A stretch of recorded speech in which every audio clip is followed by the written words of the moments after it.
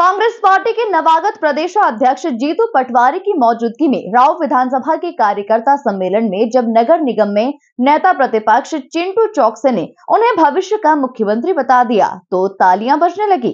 देखिए ये रिपोर्ट। मैं आज के इस अवसर क्योंकि भैया को हमको सुनना है। मैं ऊपर शीर्ष नेतृत्व को धन्यवाद देते हुए हम सब गौरवान्वित है।